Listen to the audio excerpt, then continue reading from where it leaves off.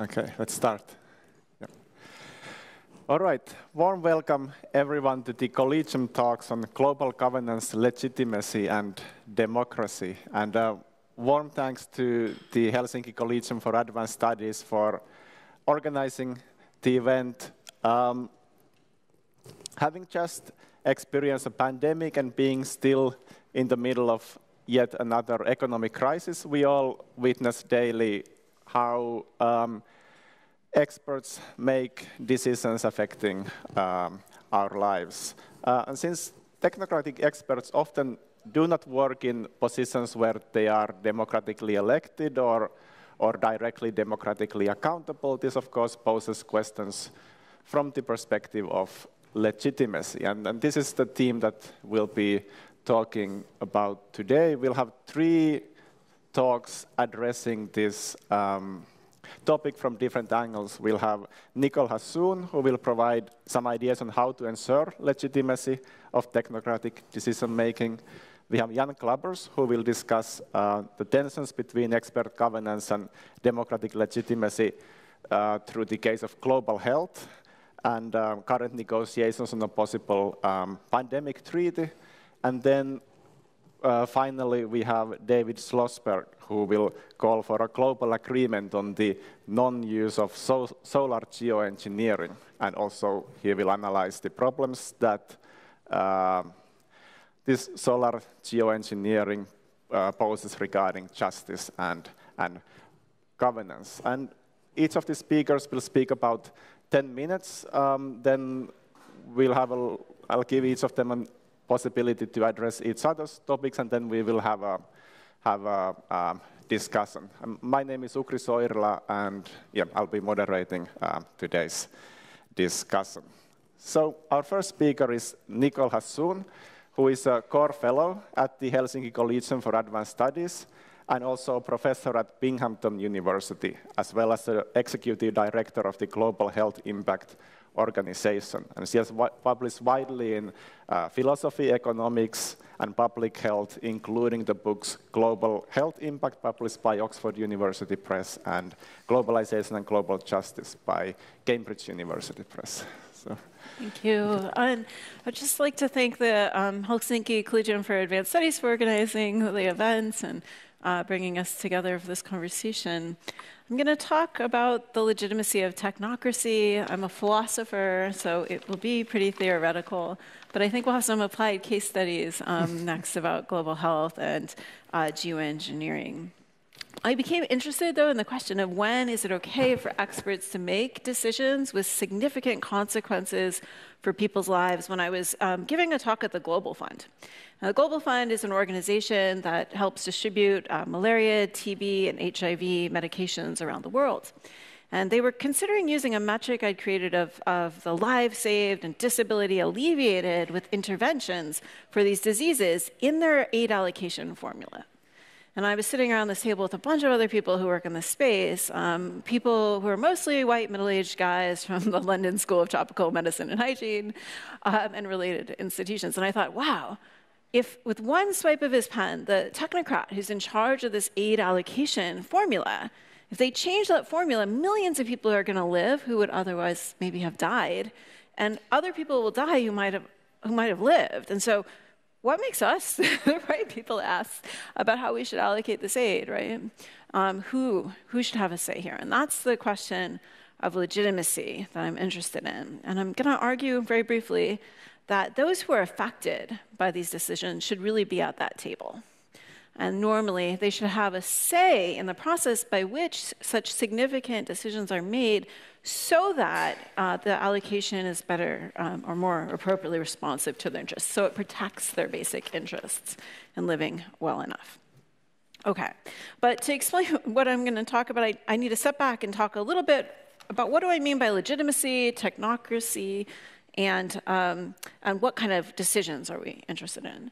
So first, um, uh, I'm going to use legitimacy as kind of a moral notion. So you might think that a decision is a good one or an acceptable one for people to make. Maybe people in general think that about their government, but that's uh, my question isn't about whether people think it's okay for people to make these decisions. I'm interested in whether it's really okay So I'm, I'm interested in legitimacy as kind of a normative idea.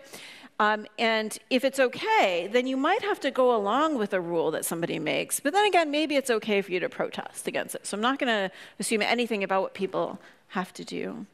Um, I'm just interested in when is it okay for experts, um, technocrats, to make decisions that affect people's lives. And a technocrat is someone, I will suppose, who has real, genuine expertise. That is, they have knowledge or skills that can be useful for making some decision. So maybe they're a geological engineer and they can tell us when an earthquake's likely to happen, or maybe they're a climate scientist and they can tell us where the flooding's going to happen, or maybe they're a, you know, a computer engineer or a lawyer or an economist, but they have some useful information for us. Okay? And these guys are not elected people, and they're not even appointed by elected people. So we're thinking about those in the bureaucracy of states, those in international institutions. And then finally, um, what kinds of decisions are at stake? I want, I want to focus on decisions that affect people's basic life prospects, so their ability to live what I'll call a minimally good life. And I'll say a little more about that in a minute. Um, and so the question again is, you know, when is it okay for people to make uh, decisions that affect people's lives uh, so significantly? And there's lots of reasons to worry about whether technocrats are the right people to do this, um, whether technocracy is compatible with democratic values, public participation, representative governance, flexibility in the face of crises, and responsiveness to people's values. Um, and so I'm going to suggest that um, what, we, what we should do to make sure that it's responsive to people's values and to make sure that it's compatible with democratic um, considerations uh, is to give people who are deeply affected by the decisions these experts are making a say in the process by which they're made. And so this could be done in a lot of different ways, and we'll talk about some of these concrete examples in a minute. But why give people a say? Well, it's precisely because they are so deeply affected by these decisions and they need some control over their basic life prospects. Um, moreover, I think when we give people who are on the ground a say in decisions, we get information that's really important and can help improve those decisions so they better protect people's interests. Those who are deeply affected also have a stake in those decisions. And so if we look to the philosophical literature about what makes uh, decisions legitimate, what makes governments legitimate or international institutions, most of them require more than just that people have some kind of say. They might have to they might say that you know, these institutions have to be fully democratic or they have to make the right decisions. And so I think this basic principle, this minimal principle, might get an overlapping consensus amongst people with very different views. But we need to say what interests are affected and how people should have a say. And so the interests I'm, um, I want to protect um, include being able to live what I call a minimally good life. And I've just finished a book on that topic. If you're interested, you can come to the book launch in June. But basically, the idea is you, you put yourself in other people's shoes. You think, there, but for the grace of God, go I. What would I need to live well enough as that person? And if, if there's any serious reason to doubt that someone's life can be well lived, then I think you have reason to worry about whether this decision is affecting their life in an acceptable way. And therefore, they should have a right to kind of say, put have a say in the process. So that's the, the way I understand the decisions, that's, uh, the interests at stake in the decision and what we should ultimately protect for people. And you might also have to protect human rights. You might also have to give people a say for other reasons. But at least when their ability to live minimally well is at stake, I want to say people need to have a say in decisions that affect those fundamental interests. Now, you might disagree with this. You might think, well, is it really necessary for people to have a say? Or maybe it could be counterproductive, for instance. If you give people a say over some decisions, maybe they'll come to deeply regret them. And I think that's true, right? So we want to give people a say in cases where it makes a difference, in cases where it helps to protect those basic interests. So if people lack the information necessary to make a decision, if experts really have all the information they need to make a, an adequate decision, and um, there's just no way that you can get people's feedback um, without making things worse, then you shouldn't ask them. But in many cases, I think we can develop deliberative polls, democratic procedures, and ways of getting feedback from people that can actually improve processes and help us um, get to better decisions. Um, a different worry, though, is well, maybe technocracy is fundamentally illegitimate, right? Maybe it's just not democratic enough. So some have argued that at least since like the 1980s, technocrats working for international institutions have spread neoliberal values which many people um, reject. So, the World Trade Organization, the World Bank, the International Monetary Fund, for instance, have spread this kind of free market ideology, requiring countries to liberalize and, and privatize markets to gain access to aid and to engage in international trade, largely to the benefit of rich countries. So, they've, they've created rules under the guise of expertise without regard for the distributive effects of their policies and often the policies have actually further impoverished poor people. So they've had to privatize land and even essential services like education and healthcare.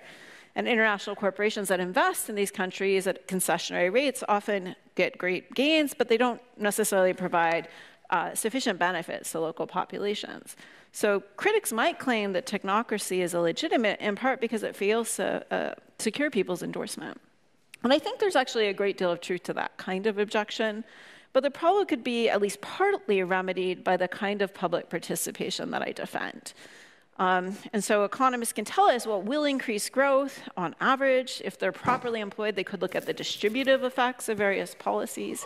But those affected could have a say in the decisions with significant consequences that exceed their expertise, which is, and I think often the case, often essential for advancing uh, their interests or protecting them.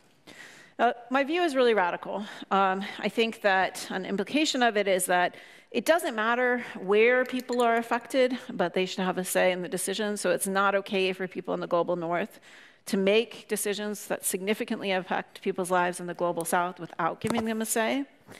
Um, and one way of ensuring that everyone's so deeply affected might be through more representative governance of states or international institutions and non-governmental organizations' decision-making processes. So we can think about diversifying decision-making throughout those institutions, as well as including feedback mechanisms within them. But obviously, in 10 minutes, there's lots of questions I can't answer. Um, I'd love to uh, talk with you guys all about some of those, so I'm just going to put this out there and then say, hopefully, um, we'll get to discuss uh, in a few more minutes, and I'll hand it over to our next speaker. Thank you. Or, you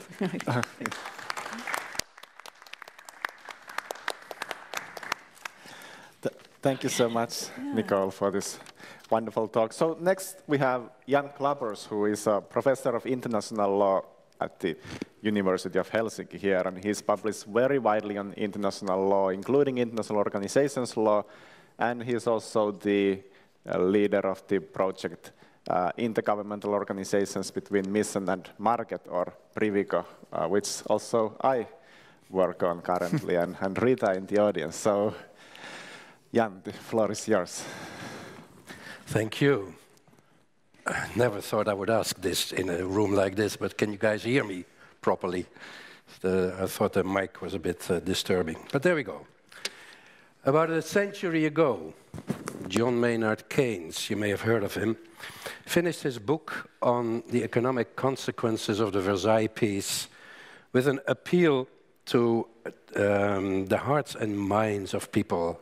As he put it, I'm not writing this to influence the statesmen of today, I'm writing this in order to influence the hidden currents, as he put it. He wrote the same, pretty much, in his general uh, general theory in 1936. Again, the last page is dedicated to outlining what it is he was trying to achieve.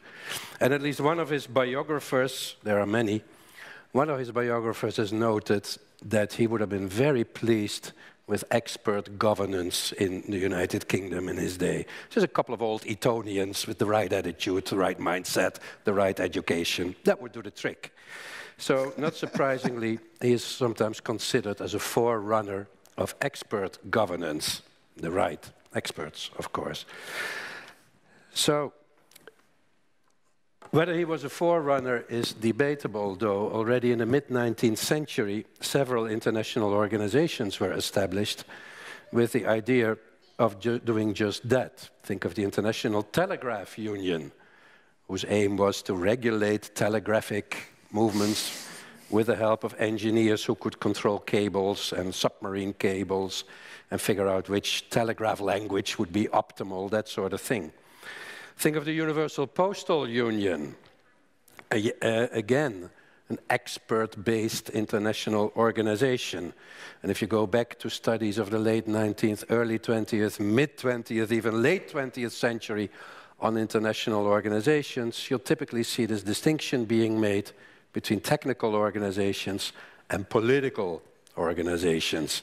The political organizations then are the League of Nations and the UN, not much more really. The rest is considered technical.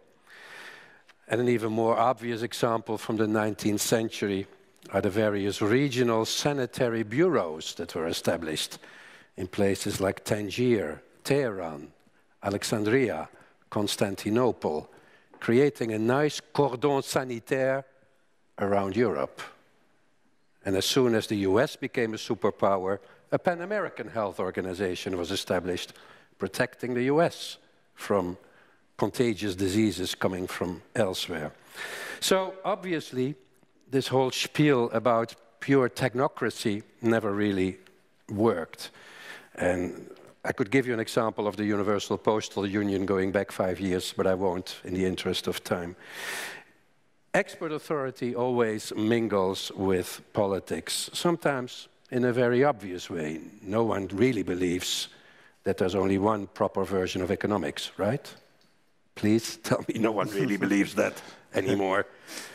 It's, uh, think of 50 years of austerity on the command of economists, and still nothing happening.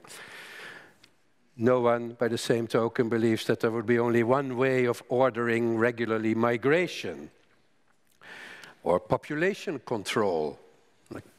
There is a UN agency for this. It is filled with people who know about population control, and yet family planning and birth control are pretty political, right? Uh, even something as mundane as the World Heritage Site nominations at UNESCO you cannot take the politics out of that politics. But in some other domains, the politics is a bit less obvious. We tend to trust our engineers. If they say this is the way to build a bridge, I'm not going to argue with them, right? If our doctors tell me smoking is bad for us, again, I'm not going to argue with them. Yet, talking about the doctors, here too politics creeps in, if only, but importantly, in the forms of, que of questions about distribution. This takes place on the level of the actual policies that the organizations, that an organization such as the World Health Organization might wish to sponsor. It has been known for quite some time that smoking is bad for us, but it took the World Health Organization until 2003 to come up with a rather watered down convention on smoking against smoking, convention actually on tobacco control, which is not even against smoking, strictly speaking. Um, and that would not have happened without the drive of the Director General at the time, Gro Harlem Brundtland. Second, these political questions come up in further legal choices to be made. And if I put it like that, it sounds a bit cryptic. But what I mean is questions such as, should the pandemic treaty that is being negotiated right now, should it actually be a treaty? Or should it be another type of instrument? Could it be an international health regulation, which is something the World Health Organization has the power to adopt by majority, super majority, but still, to become binding on all member states of the World Health Organization? uh, unless they technically opt out, and very few would do that. Should it be a health regulation or maybe a recommendation? This happened for the historically inclined among you with the attempts in the World Health Organi Organization to regulate the use of breast milk substitutes in the 1980s. The plan was to have a convention, didn't work because Nestle was against. Okay, let's have a health regulation. Didn't work because Nestle was against. So it ended up being a recommendation by the World Health Organization. Further questions should there be a framework convention with further possible adjustments, which can then be done by the technical experts, as often happens in the environmental field? Or should it be a more regular convention with hard and fast obligations spelled out? And finally, not exhaustively perhaps, is the instrument that we are about to negotiate. Is that coming with a monitoring body? Should there be a monitoring body? What kind of monitoring body? Should it be the same as the monitoring bodies in the human rights field or in the environmental field or different? Those are all questions that look like technical legal questions, but have clear political dimensions. I mentioned Nestle, not a coincidence. Some states in the World Health Organization currently negotiating the pandemic treaty are very keen on insisting that it will actually be a treaty, which has to be approved then in accordance with domestic requirements, meaning that they cannot be bound against their will. If it would be a health regulation, they could hypothetically be bound against their will because it's so awkward to opt out. You look really like a loser when you're the only one in the room saying, we're not going to do this. Whereas if you're not going to ratify it, no one hardly notices. Um, on the third level, the politics creeps in in questions such as what kind of rules should we have? Should there be equal access for everyone? Should there be equity in, in vaccines when it comes to the pandemic? Uh, who shall bear the costs? Should there be technology transfers? Should there be obligatory, uh, what is it, transmission of pathogens? That sort of thing. And then finally, there are always procedural questions, which to the lawyer is where the politics really comes in very nicely. Should negotiations have a deadline?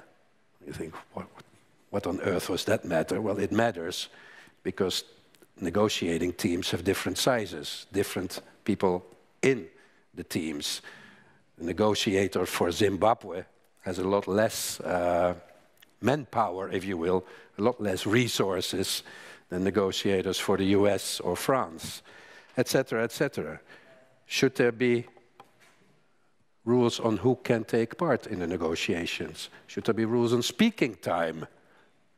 Very mundane, and yet that is where the politics often already creeps in.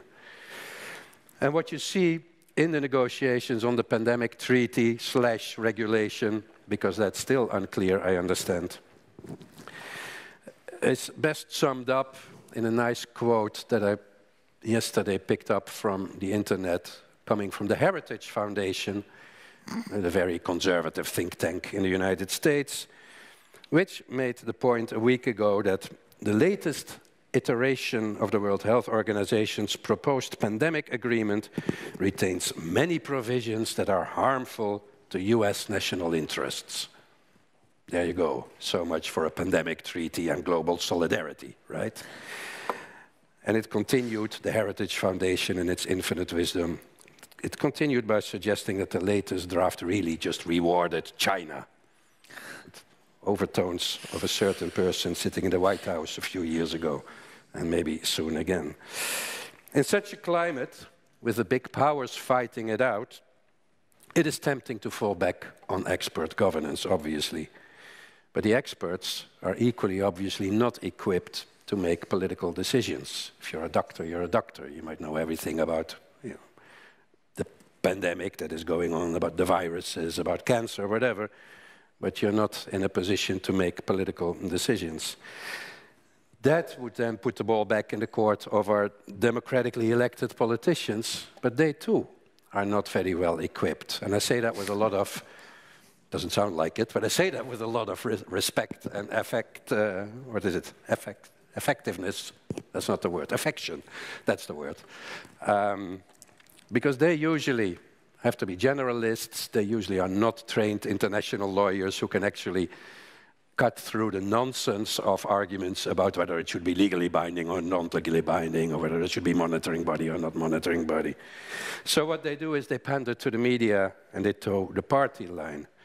Again, one example, very random, I yesterday picked up from the internet, is a member of parliament for the Tories in Britain, the Honourable Bob Seely, who basically just relied on promises made by his government. I quote, when he was asked about uh, whether or not the pandemic treaty would do something against British interest, he, he said, and I quote, the health secretary has personally assured that the government will not support any treaty which compromises the UK's sovereignty. So that's great then. Parliamentary control, we just take the government's word for it and we go on as if nothing happens. So on this kind of note, democracy hardly comes in and hardly can come in.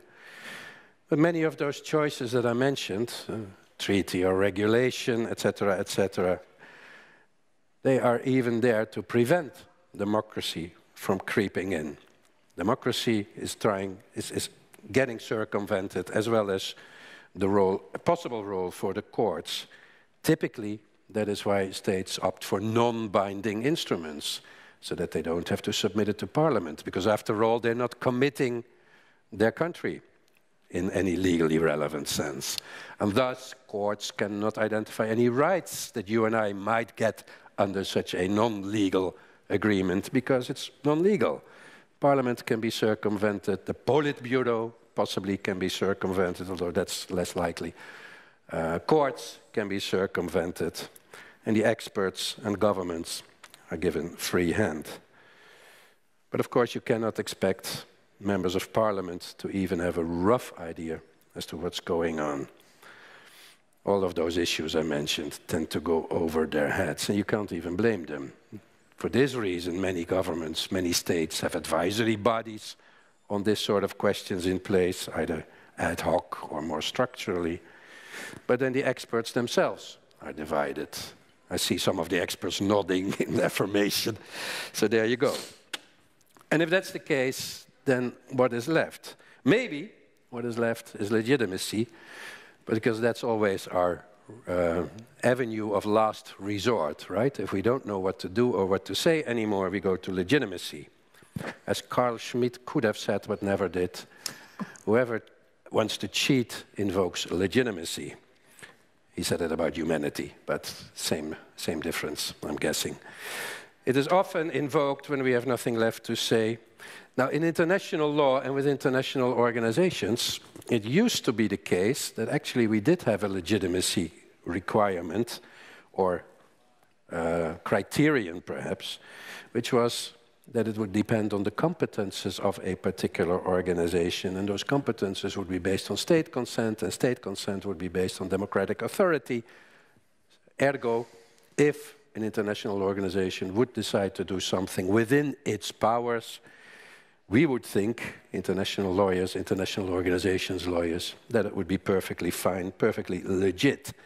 That's no longer the case. International organizations have screwed that up themselves by going too far in that direction, too far in that direction, and the legal mechanism in place never really works because if states agree that a nasty policy is nonetheless within the powers of the organization, then you and I can, you know, jump high or low, but then that becomes the position. Legitimacy can also depend on expertise, but that kind of closes the circle again. Where expertise is controversial, you still need legitimacy to arise. And you need trust in order for legitimacy to arise. And if we cannot trust the experts, then their governance will not be very legit either. And then there seems to be common concord that legitimacy can also depend on outcomes, output legitimacy, as people sometimes call it. But that may take very long. Causality may be difficult to establish because how to determine that a policy decided in the 1990s helps prevent something that otherwise would happen now? You can't even imagine such a thing. Is there then no alternative? At least under the global governance, legitimacy, and democracy heading. The cynic, the pessimist in me says no. The optimist says it would already be a good idea if instead of doing what the Heritage Foundation does and just say this treaty is bad for the national interest, maybe realize that there is no alternative, but all of us to have a little look every now and then at what Hannah Arendt used to call taking care taking responsibility for our common world. I thank you.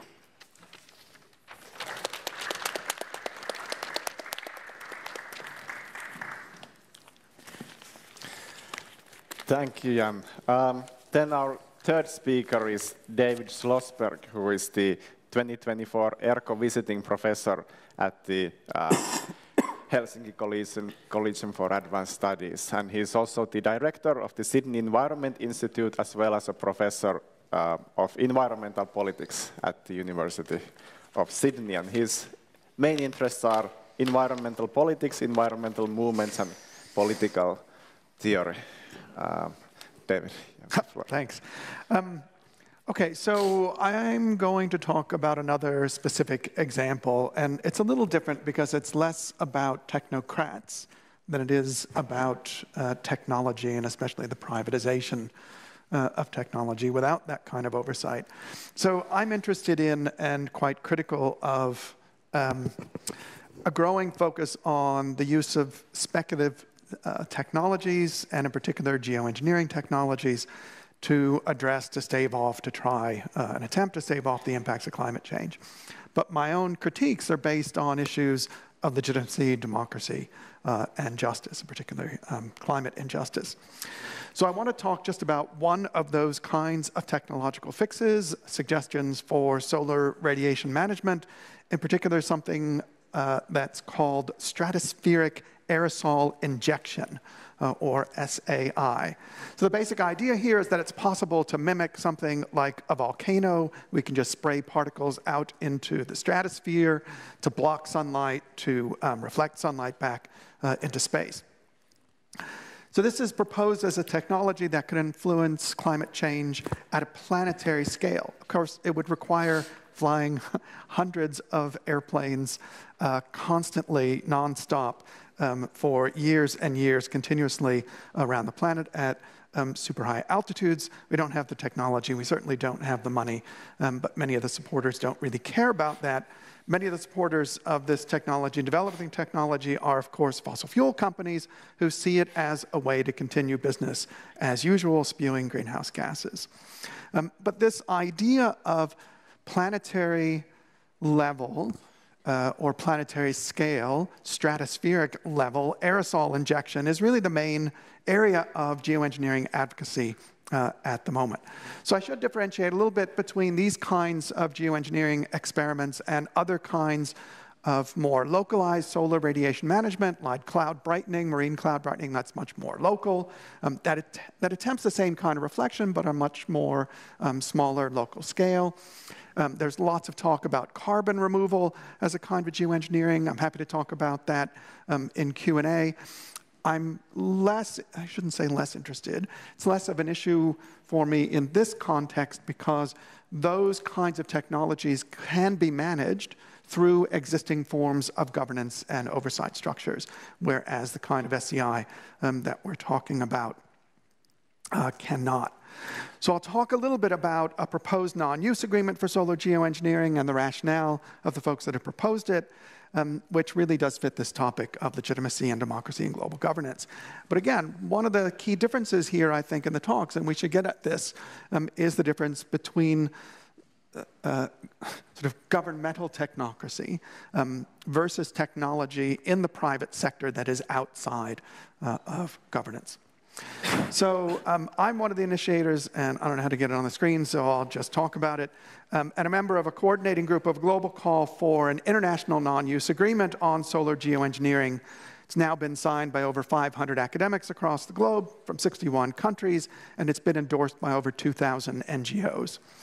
So the call lays out our opposition to this kind of research, and it says, quote, solar engineering is a false solution to the climate crisis. It would bring huge risks to planetary systems. Its deployment could not be governed in a fair and effective manner. It doesn't address the root causes of the climate breakdown. It would only further delay and derail climate mitigation policies. So we only ask for five things in this non-use agreement. No public funding, so privateers go ahead, no public funding of solar geoengineering re research, no outdoor experiments, no patents, no deployment, and no support in international institutions or agreements. So let me get to the rationale for these uh, for our objections, which again really fit the parameters of the discussion that we're having. So I'll talk a little bit about the potential impacts of SRM, violations of principles of justice and democracy, and then the lack of governance structures and oversight. I think it's important to start with potential impacts because we have both known impacts and then, thanks to another infamous American unknown impacts um, of uh, these kinds of wild experiments. Um, lots of impacts on the global atmospheric system. Um, there's potential tipping points. Geoengineering could lead to heat and drought in some places, heavy rains in others, food insecurity, forced migration, uh, and a lot more. SRM, if implemented, could increase climate impacts, climate turbulence, and exacerbate a range of climate injustices, including the potential displacement of large uh, populations. So, one of the ways that a number of the proponents of solar radiation manipulation, I think manipulation is a better word than management. There's not a hell of a lot of management going on, it's a bit too generous. But the, the, the way some of the proponents justify their argument um, is actually with a moral principle of do no harm.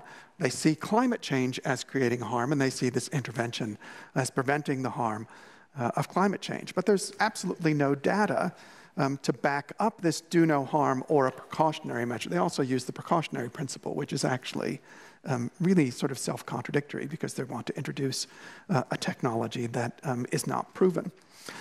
So we know, again, there's a lot of known impacts. We also know there are a lot of known unknowns about potential impacts. Um, so the argument is that it's potentially very harmful um, and opposition is not unreasonable. So that's just based on impacts and knowledge about what the impacts might be. Oh, thanks, there it is. Um, so, one of the critiques, and this gets back to Nicole's talk, is based on this democratic idea, um, the all affected principle or the all interested principle, a little bit different um, formulations. But it is this basic idea that those who are impacted by a policy should have a say over it. But rather than that kind of democratic in, uh, inclusion, there have been a number of experiments that have been proposed or attempted without any kind of authentic engagement uh, of those that would be impacted. So nearby here in northern Sweden, a couple of years ago, um, a very well-funded funded Harvard-based uh, research group planned a field experiment with absolutely no local engagement. Uh, it was actively resisted by the local Sami uh, people and communities um, who, again, were not consulted. A number of environmental organizations and academics got involved, and the experiment was first delayed and then eventually canceled. Um, another example is uh, a US private company called, uh, and I love these guys, Make Sunsets uh, is the name of the company. They proposed to launch balloons from within Mexico. Why not the US? Big question. But they were going to release balloons from within Mexico that would pop sulfur into the stratosphere and the plan, of course, was they, were, they had a business plan, they were monetizing this, they were selling carbon credits. Uh, the Mexican government got a hold of the idea, was it went to NGOs, NGOs went to the government. Um, uh, and even though these particular tech bros didn't seek permission from the Mexican government, the government swiftly announced a complete ban on all solar geoengineering um, within the borders of Mexico. Um, I don't know where Make Sunsets is going to go next. But more broadly, across Africa, um, a number of funders and universities are trying to entice African governments to allow this kind of geoengineering research. And a colleague of ours and one of the, um, the co-founders of this organization, Chuck Okereke, who's the director of the Center for Climate Change and Development in Nigeria, he published an op-ed in the New York Times last year entitled simply, My Continent is Not Your Giant Climate Laboratory.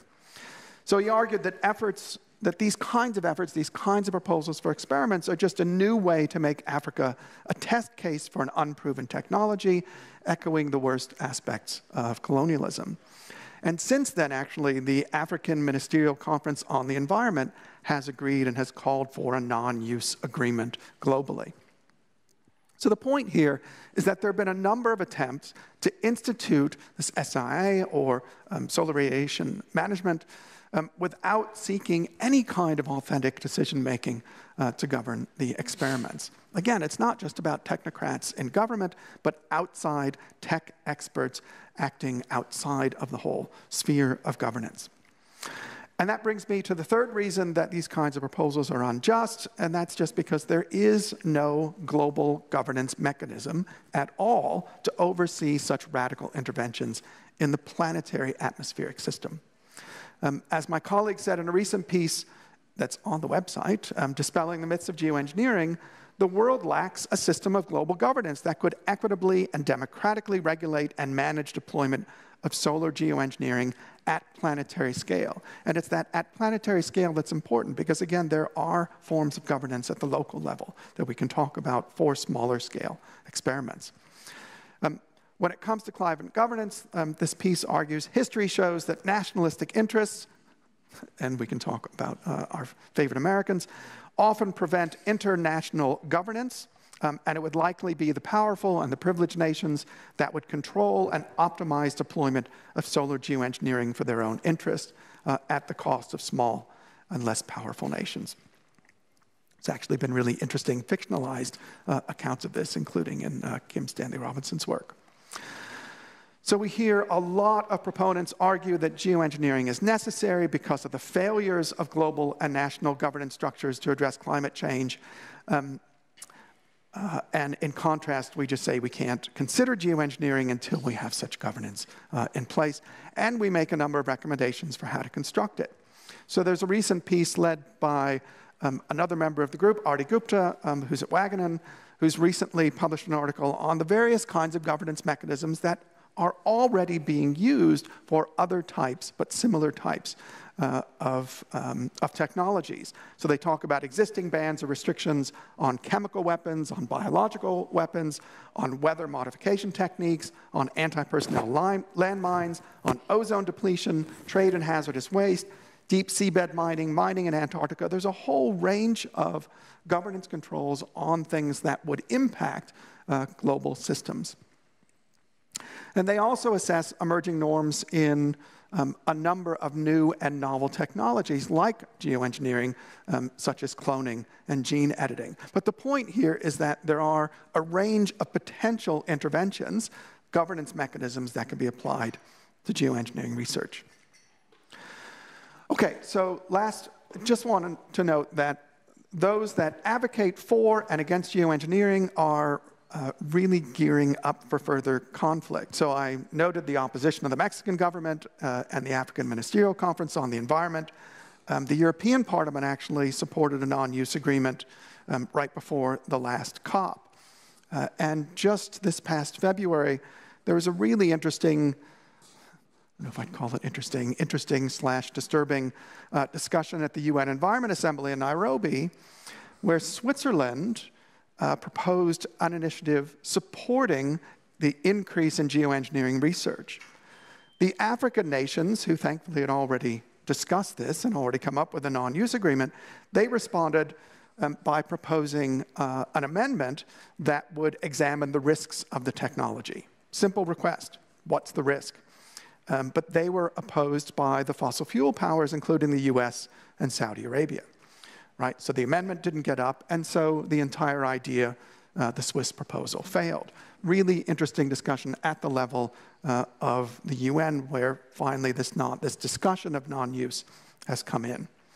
Um, as my colleague Frank Biermann has written, quote, the negotiations seem to have strengthened the resolve of some countries in the global south to take a strong, proactive, and critical stance against the solar geoengineering engineer being pushed being pushed mainly by US based scientists and lobby campaigns um, that are funded by the fossil fuel industry and a range of tech bros uh, and their think tanks. So, all of this and all of this sort of critique is based on the risk of the technology, the inequity of the technology, but also on the clear lack of democratic, uh, legitimate democratic governance. Um, so, there's another issue for us to talk about. There's the, the website. Feel free to sign um, at solargeoengineering.org. Thanks.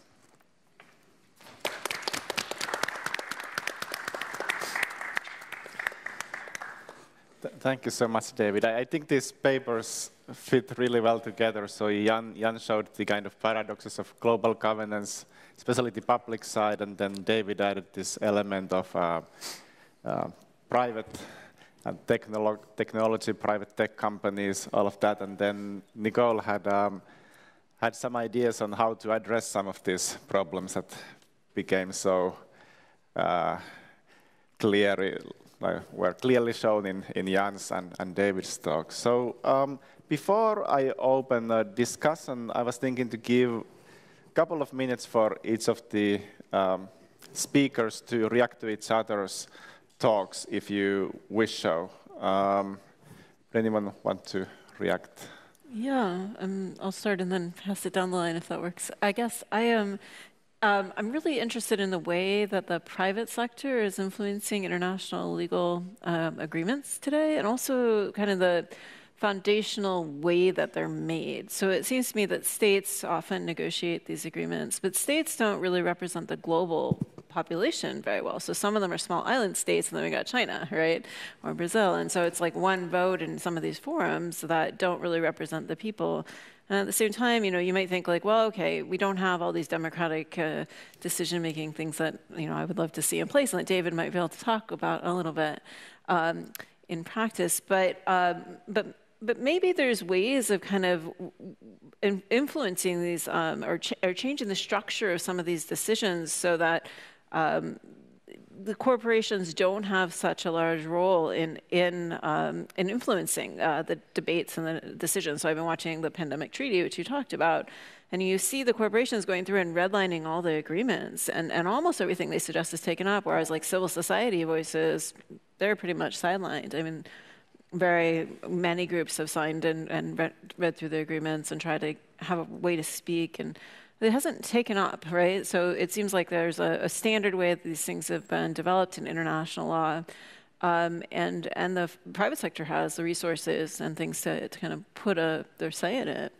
but I wondered if you had any reflections on that, Jan, after hearing your talk and, and, and thinking a little bit about also how corporations are kind of just going out there and they're throwing carb, you know, the sulfur up into the atmosphere, and they've been doing it for 10 years, at least, or at least talking about it. Gates is funding this. It's like it's been going on for a while, and yet the international legal mechanisms necessary to kind of regulate it either aren't developed or aren't developed in the right way to address the problems. Um, can, can your international lawyers help?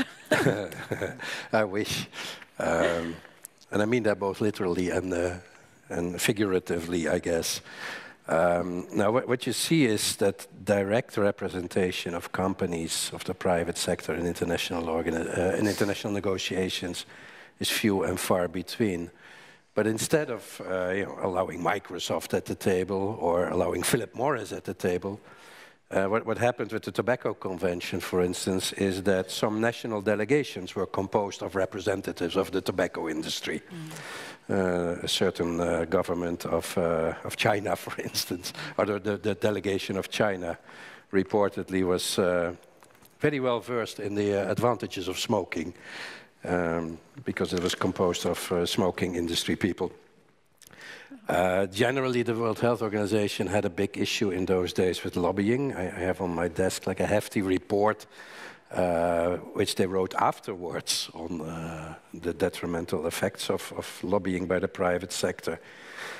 Um, another point to make is, is in connection with David's talk that if there is no rules in place, if there is no non-use agreement, then it's still considered to be a free-for-all, right? Mm. Unless that would be domestic legislation uh, curtailing things. But as long as it's not prohibited, it must be permitted.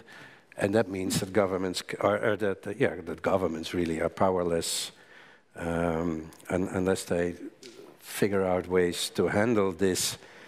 Um, yeah, that, that's an initial reflection. I could go on, no doubt, but maybe uh, David wants to add something.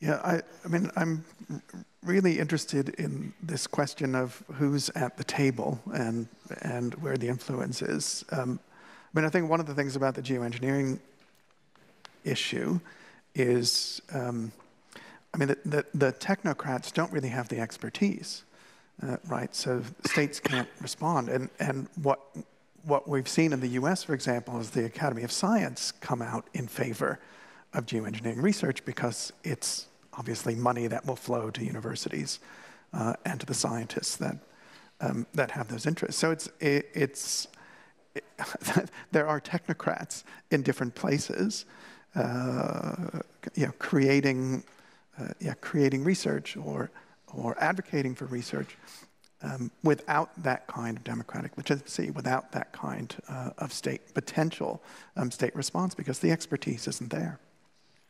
Maybe I can add another footnote that uh, some international organizations have done their best to incorporate the private sector. Maybe the best example is the International Telecommunications Union, which is the current incarnation of that early telegraph union, which accepts um, sort of like customer loyalty schemes with the, the private sector.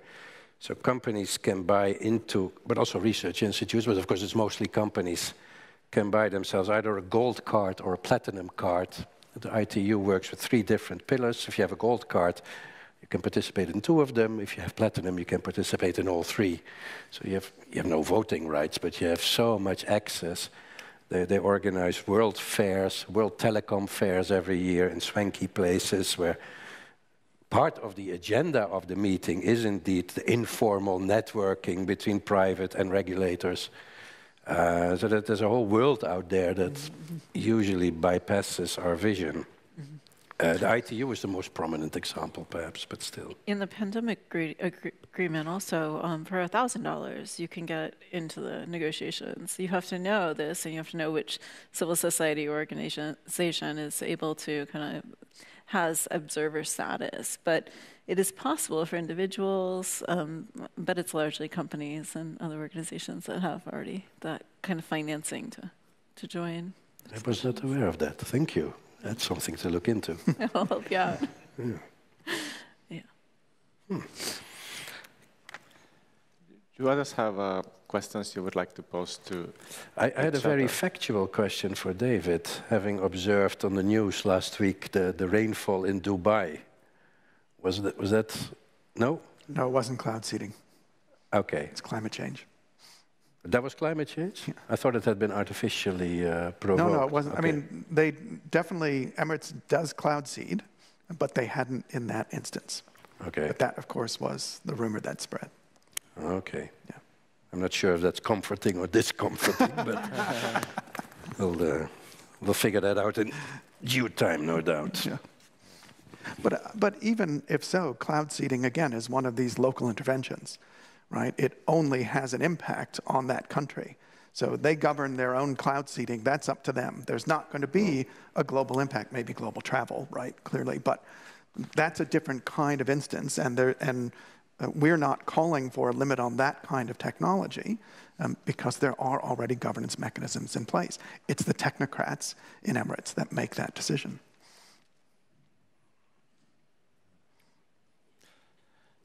I think now we could open the discussion for the audience as well, both uh, online and, and, and in the room. Maybe while you, you think of uh, your questions, I, I could ask one question from each of the panelists. I think for, for um, both Nicole and Jan, it's a bit similar. So Ni Nicole was thinking of like problems in addressing the, uh, solutions in addressing these um, um, legitimacy problems, democratic problems. And um, Nicole, you, you, suggested the people could have a say. You, you've also written a bit on solidarity. And Jan ended with this uh, kind of a reference to virtues and ethics. And you have previously researched, um,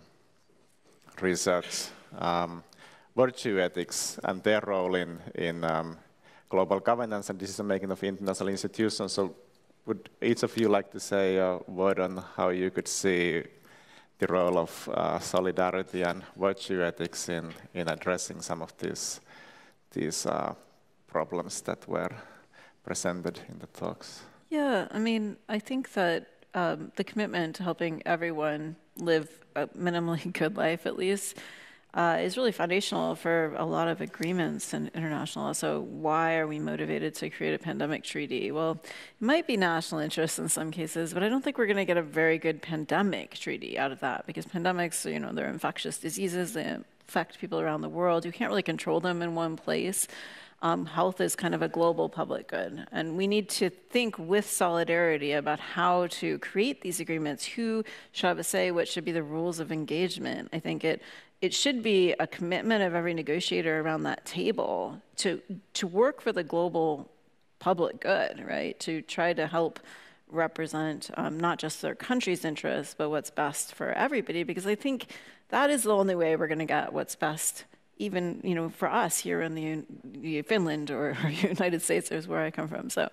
Um, and that commitment to solidarity is an ethical commitment, but it would, if people come to that uh, negotiating table in that way, if countries are willing to put aside those mm, very nationalistic interests when we have something very significant at stake, then I think we'll get better agreements, both sort of in the details of it and, and so forth.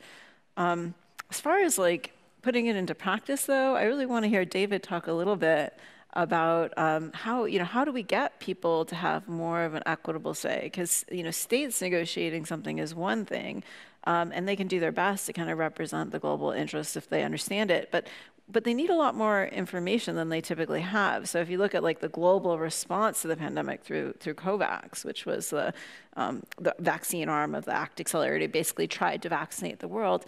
You know, they weren't very representative. Again, you had all these white guys um, from from in big institutions in global health. Um, who were making decisions and then doing things like, okay, we have these vaccines at the last minute, I'll give them to Malawi. But Malawi didn't have like the capacity to distribute those vaccines. And so they came there, they came there like two weeks before expiry. They're like, burn them. What do we do with these? We can't distribute them. Like, burn them. And then they get vaccine hesitancy. And this is, I think, fairly predictable if you know anything about Malawi. But, but if you had people throughout that decision making process who were more representative of the global population, if people had uh, say, I think it would be better. And you see people in developing countries speaking on the pandemic agreement and saying, hey, we want a chance to actually have affect these negotiations. I don't know how they're being sidelined, but I don't think sidelining people is like an effective way to get to a good agreement. Um, yeah, just to respond, I mean, I, I, there's a lot to talk about here. I mean, um, this question of, uh, you know, how we can get governments to think beyond themselves, beyond their own interest, and think more uh, in terms of solidarity. I think we're already seeing that when it comes to solar geoengineering. And interestingly, it's in response to white academics in the US attempting experiments, mainly in the global south or on indigenous populations. Right? So you're seeing that sort of reaction to and that, that sort of uh, that memory of trauma of other forms of experimentation on colonies uh, and in the South. That, I think, is helping to bring together that kind of solidarity that we saw in February in Nairobi, um, you know, where it's not just, not just Mexico, it's not just a couple of African countries, it really is a number of countries in the global South responding in solidarity to the, th- the potential threat um, to their interests. So I think it's happening. I mean, we, when we started this a couple of years ago, that certainly wasn't the case. There was no knowledge, right? There just wasn't that kind of response, but now that's growing. Should I add something to that still? Um, I, th- I think solidarity is mostly a mindset. You cannot really catch it in rules, you cannot catch it in things like representation because as soon as you do that, then everyone who's sitting around the table starts to defend their own interest as well. Uh, so that's like previous big treaty negotiations have suggested as much that uh, representatives from states A, B, and C are just as bad as those from D, E, and F in pushing their own national interests. So that's not a matter of solidarity in the end. You have to get people to think, uh, and, and, that's of course a hell of a task. that's uh, like the the, what is it, the oikotie in Finnish, the shortcut. The shortcut, thank you, would be to, uh, to say, okay, we sort of institutionalize solidarity. The UN even has a special rapporteur on solidarity at the moment who tried to come up with a solidarity treaty. Um, there's not much there there, really. It's, it's, it's in the, the hearts and minds of people. Actually, from David, I still wanted to ask, so what, what is the maybe you said it and, and I missed it, but where does China stand in this? So, so we had kind of EU and Africa and some global South is against, and then US is standing behind the tech pros. And uh, where, where is China? I don't have a good answer to that other than the speculation that technology is being developed and may be put into use, right? Um, but there's really been, it really hasn't been a major player in the discussions. Yeah. Maybe because it doesn't, I mean, like the US, doesn't really feel as if the governance will cover them. But I don't, I just don't yeah. know. Yeah. So now we could um, gather some questions from the audience or, or from, from online.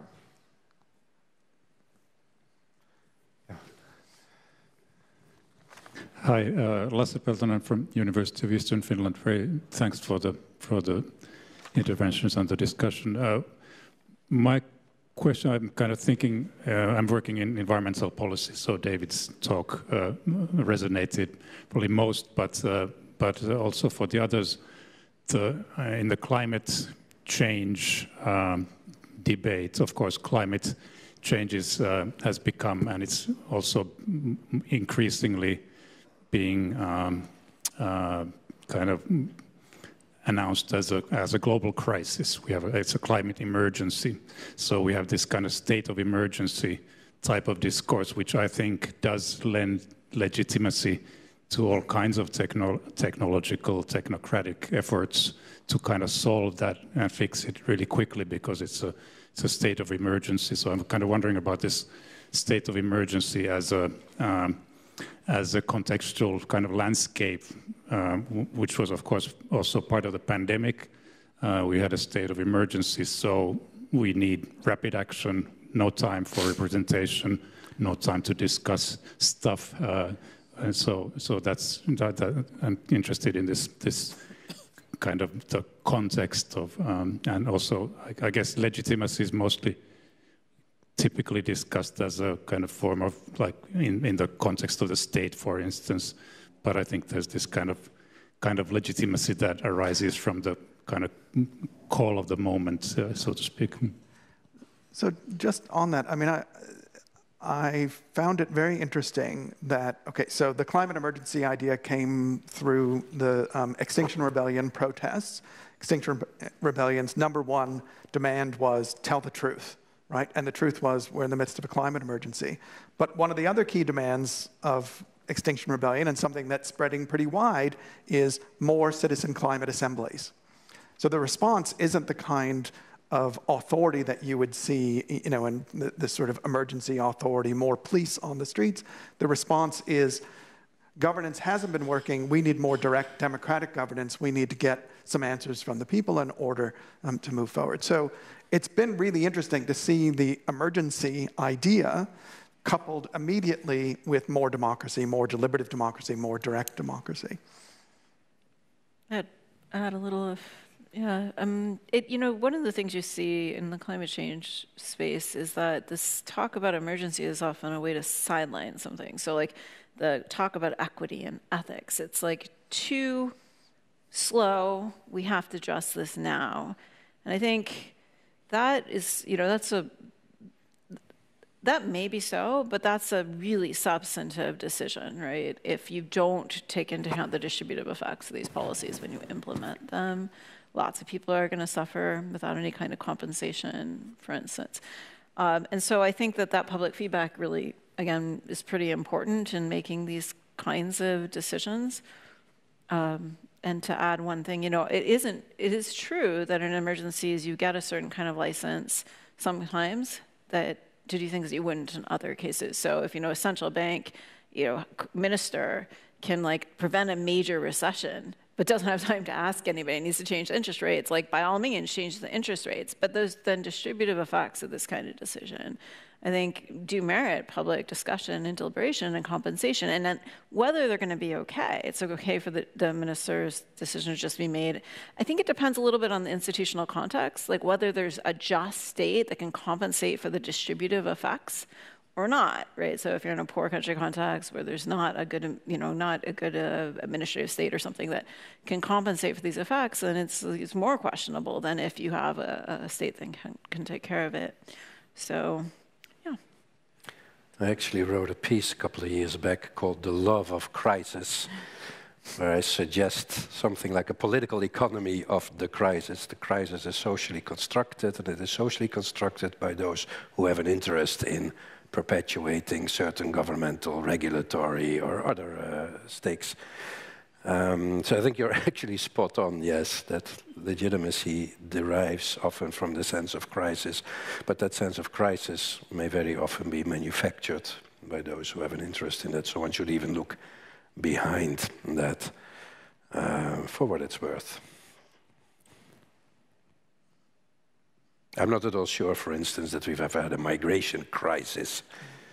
And I prefer not to use that term, like issue or something more neutral than that.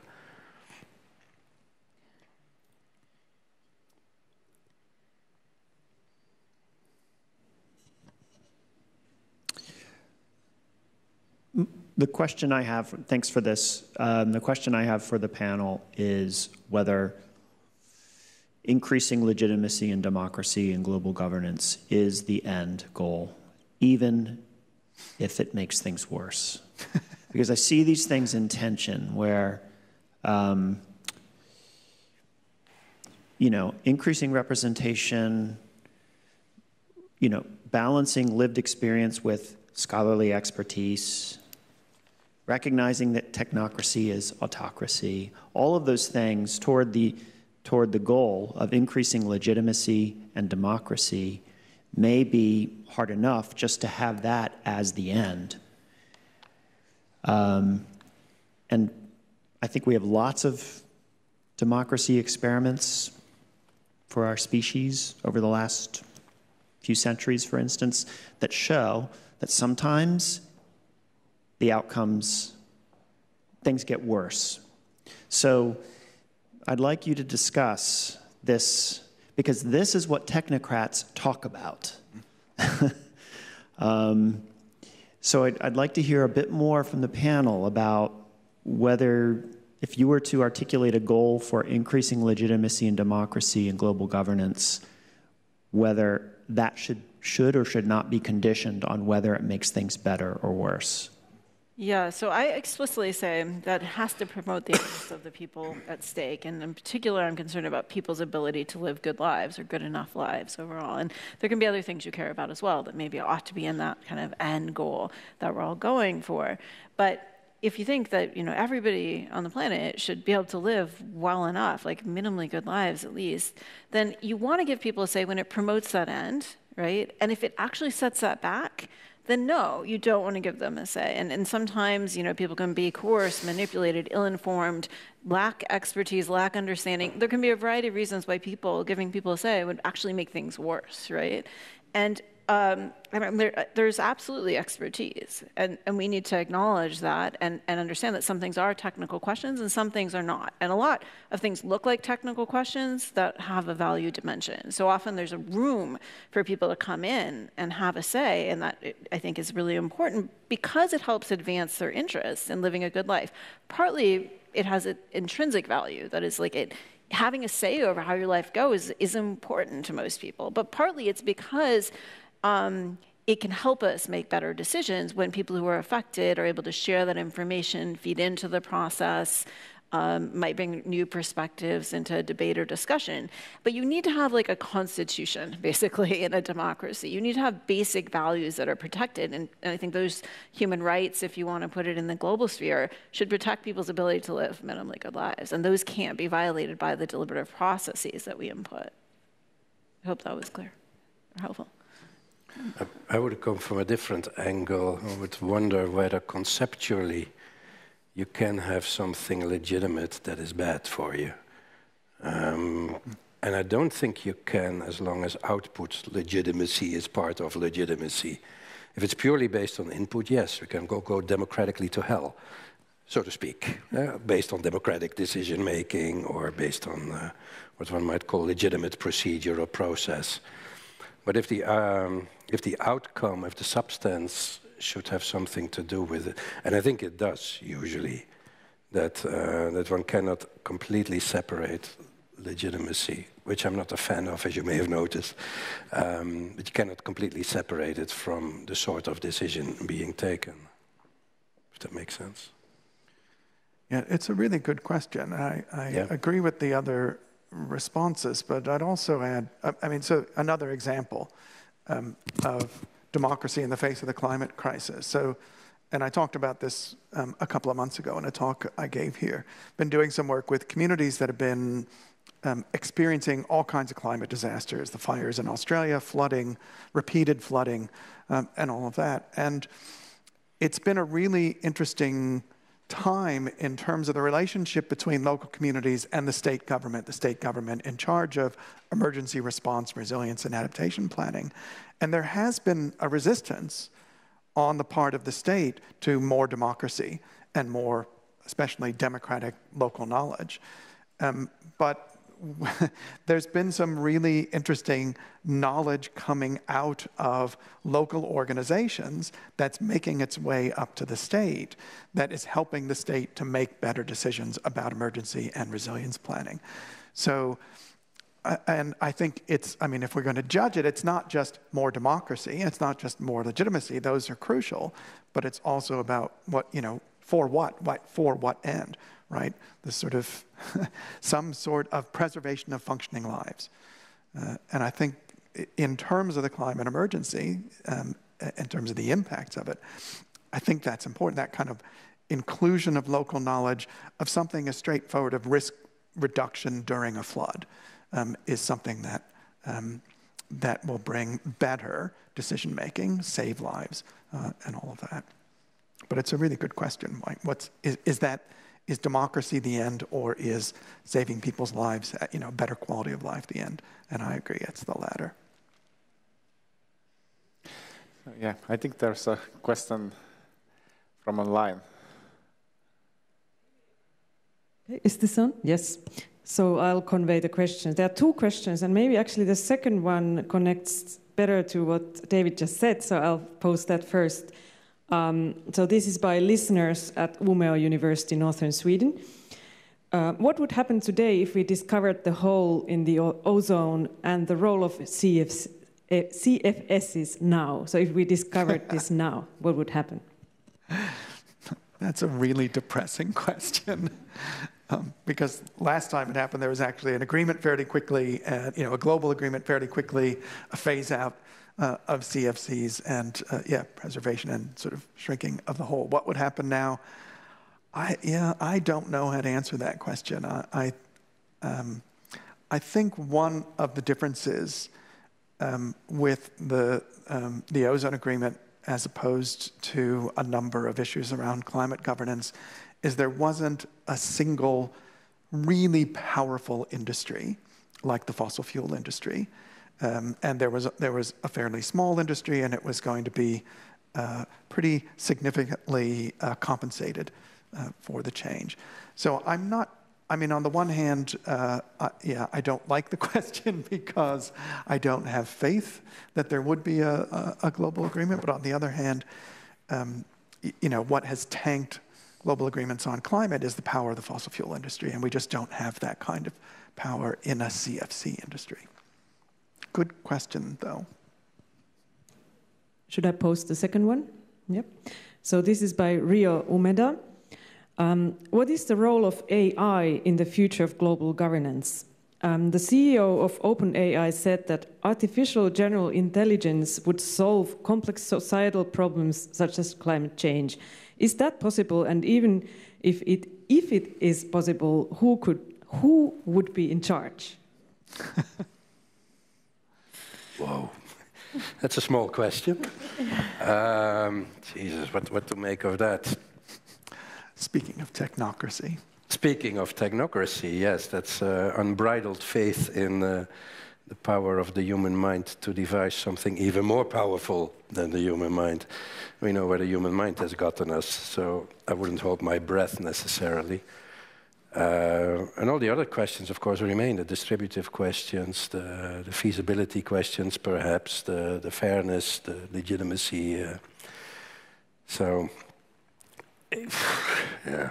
I can talk a little bit. So, like, it is amazing how artificial intelligence is used in health already. So, it's used, for instance, in diagnosing diseases And there's, you know, questions about the ability to oversee these kinds of decisions, even in a local doctor's office, right? So if you're using these diagnostic tools and they're provably better than human kind of diagnosis, in some instances, we're going with it, right? It's the way we land our airplanes, actually. Like there's uh, algorithms, and we vote. They vote. There's seven of them or something. they vote, and then the plane lands that way, and we're safer than we are with people. So I guess you should feel confident about it. I, I, suppose artificial intelligence will help us solve a lot of problems. Um, governance problems, it's a little less clear exactly how they're going to be involved. Um, I don't know. Um, but, you know, I think that using those tools successfully is pretty important and being able to kind of understand what's going on behind the the screen is also really important because they do raise a bunch of ethical questions. Um, the algorithms not being transparent, they're not being uh, kind of understood at a certain level by the average user or, or maybe any user. Um, and then the implicit biases that come into that often. So when you train up these, uh, they're neural networks, basically, uh, technologies that behind, behind generative AI, uh, you get uh, you get all the human biases because they're using kind of human data. So you'll have discrimination uh, against people who are African American in terms of getting health insurance. And so I think it's definitely not going to be a panacea. It will raise a lot of difficult issues, however it's used, and um, we need a lot of ethical reflection on that.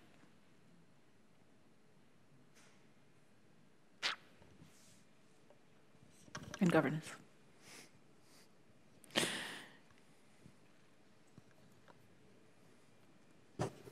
I, I realize it's a privilege to get to ask a second question, but thank you for considering it. There's also, there seems to be an implicit um, view on the panel that the more representation and discourse that takes into account um, the, the, the perspectives of people that are most affected, that that will help us move toward, move in the direction of consensus about what to do my experience on the ground in working with groups and local communities on shifting from extractive community based research to community based participatory research, where the, the main stakeholders are the members, representatives of the members of the community, is that it often increases conflict and, um, yeah, it, it, it definitely, it often does not move us toward consensus about what to do.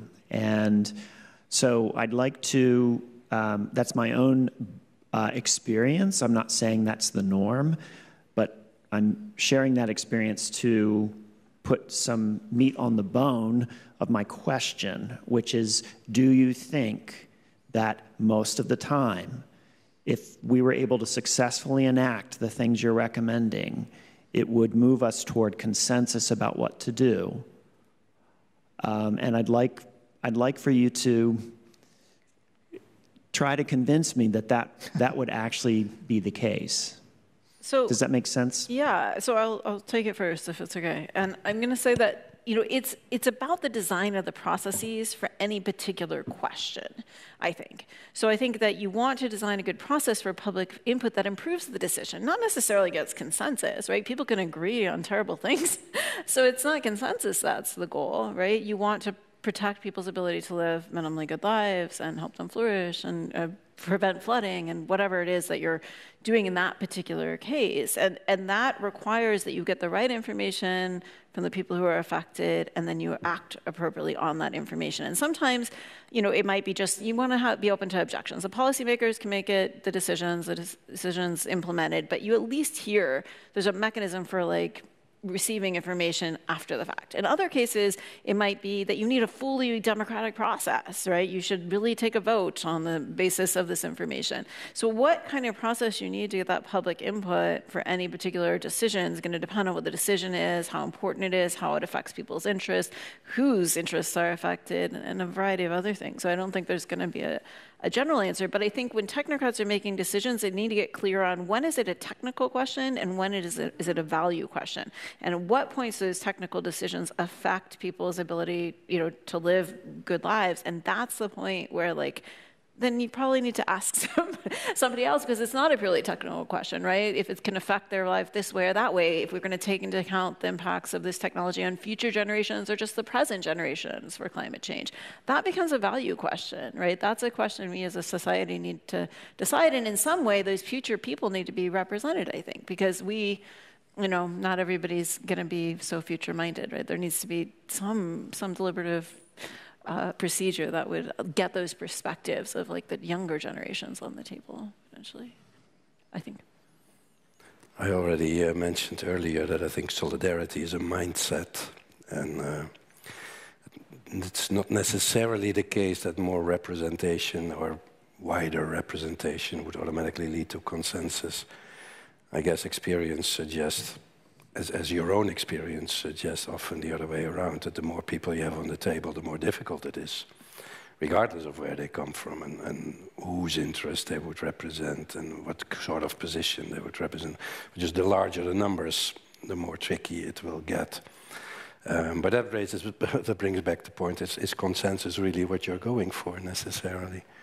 And uh, I, I, must say, I'm, I'm drawn to, to Nicole's minimal condition that uh, as long as one gets affected, one should have a say. And we have too often ignored that. That would, of course, also mean that we get to vote in US elections. Um, but even more practical, I, I, never understood why Brexit was a decision left to the British, because it affects the other 27 member states of the EU just as badly. Um, so, why that sort of uh, decision? Maybe we should devise some kind of global gerrymandering to, to get this kind of thing worked out. Good article title, yeah, by the way. Like, yeah. So that's, uh, it's a again, a really good question. And I think getting back to the geoengineering issue, part of the problem is that there is currently an attempt to manufacture consensus without consultation. So dissensus is a good thing right? And it's what happened in Nairobi in February, right? Where this was tried to create a consensus around something without the consideration of those broader interests. So I don't see dissensus as a problem, right? If, if we don't have agreement on something like geoengineering, then we don't go forward, right? The problem is if we don't have agreement and we do go forward, right? That's problematic. Um, but I don't think we're, we're not necessarily, I mean, we should be seeking, when it comes to new technologies, there should be consensus to go forward. It's a basic precautionary principle, right? But if you don't have that, it's not a terrible thing. You just don't institute the technology. and on this particular issue, I'm more than fine with that. But you don't, you, I mean, uh, again, the fear and the concern was that sort of manufacture. I mean, one of the things that, that motivated us to write this call for a non-use agreement was this increasing normalization of the language of geoengineering and this sort of this attempt to build consensus that of course we need to geoengineer you know when the temperature gets up to this or, or you know and it was just this uh, it was coming from the scientists it was coming from some of the academies. The new york times was uh, Uh, you know, repeating the thing. And so there was just this sort of building of this normalization of consensus around using the technology without engaging on the interests of those that could be affected. And that's a problem. I think we have a, another question online.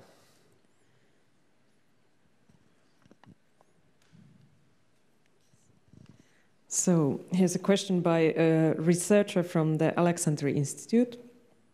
Um, how could access to higher and particularly international education governed globally when some countries or societies consider higher education as a public good, but the others consider it as a public, um, sorry, no, the others consider it as a privilege? Okay. can, can, can, you run the question again? So this is about higher education, so mm -hmm. it mm-hmm. goes a bit to a different context. But so the question is, how could um, access to higher and particularly international education govern globally when some countries or societies consider higher education as a public good and some others don't? They consider it as a privilege. So I think it's um, it's a hard question, right? So for me, I have a, my own ethical perspective that comes out of this book, so I'll talk about it a little bit which is I think that what we should care about is people's ability to live minimally good lives. And so the question really becomes one about like how does higher education affect people's ability to live at least minimally good lives? So you can make an argument that like having these opportunities, you amazing opportunities from my perspective that you have in Finland to retrain, for instance, really affect people's ability to live well enough, or that the knowledge coming out of this higher education is really important for you know understanding and addressing problems like climate change. Then I think you could build a case. Um, that would support it if, if people grab on to the ethical perspective that, hey, we should help everyone live at least minimally good lives. I don't know, quite see the connection between the question and, and the topic of technocracy, but maybe it's, you know, that um, if if we want to have genuine experts, we need to have genuine knowledge, and that comes out of higher education. And, and we want technocracy to function well, and that involves public participation, but it also involves um, uh, really taking seriously the, the knowledge that can help us make good decisions. Are, are there still places where higher education is purely conceived of as a public good? Because I think even here it has become a little bit more marketized, a little bit more commodified. And we teach our students to compete with each other. We, we try to get them out of the university as quickly and as, in as big numbers as possible. Um, so maybe it's a false dichotomy underlying the question. Uh, I'm, I'm, not so sure there is much like purely public good anymore in this idea, other than uplifting and social mobility and, and stuff. Maybe that's the. But then again, as, as Nicole says, I'm not sure I see the connection with what we're talking about so much. Well, and even if you, if you do assume that higher education is a public good, I'm thinking about the researchers at Harvard that are pushing for geoengineering, right? And they're making a public good argument right? But, but all public good arguments are not the same. Uh, you know, so we're both making public good arguments, just in different ways. So uh, I don't think necessarily agreeing that the university is there for the public good actually solves the problem.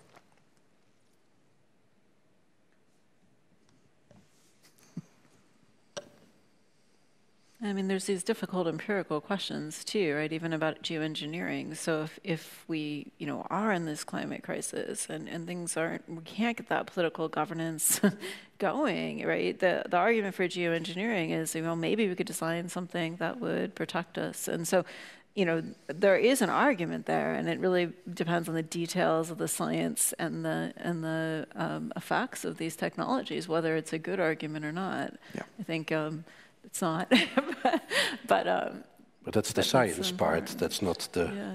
the education part per se. Yeah, right? yeah, you need the education to be able to evaluate it, and we need people to be educated to make good decisions. So, it might be an argument for seeing education as a public good in order to have good governance, but it's a it's a loose connection. Mm. yeah. Right. I think 90 minutes is is up. Uh, so I would really warmly like to thank again the Collegium for Advanced Studies for organizing the events, uh, the audience for coming, and especially our three great speakers. Um, so I don't know. Thank you.